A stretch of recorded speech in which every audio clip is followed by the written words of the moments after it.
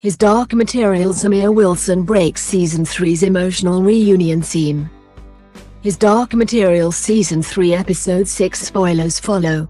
His Dark Materials star Amir Wilson has broken down an emotional reunion scene between his character Will and his on-screen father John in Season 3 of the BBC show. Wilson plays Will Parry in the TV show based on Philip Pullman's book series. While Sherlock, Fleabag and Spectre star Andrew Scott plays Will's father, the Marine explorer Colonel John Parry. In Season 3, Will and John are finally reunited once again in what proves to be an emotional scene for both father and son. In an exclusive interview with Digital Spy, Wilson opened up about this pivotal scene in episode 6 of the final season.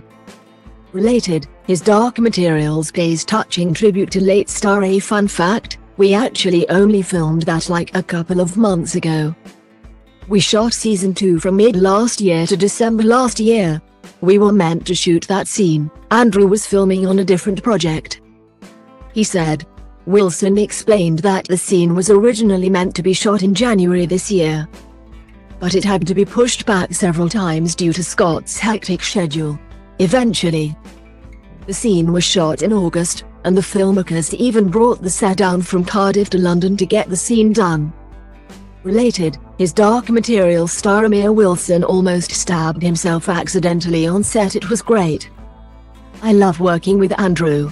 Those scenes that I have with him are really emotional a lot of the time, just for the first scene in season 2. This one is less more so. It's more of a nice moment, this one, Wilson said.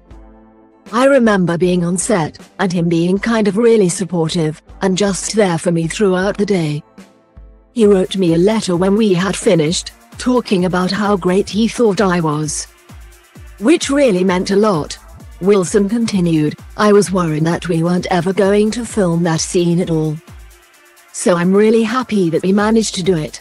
His Dark Materials airs on Sunday nights on BBC One in the UK and on HBO in the US. Viewers in the UK can also stream the final season in its entirety now on BBC iPlayer.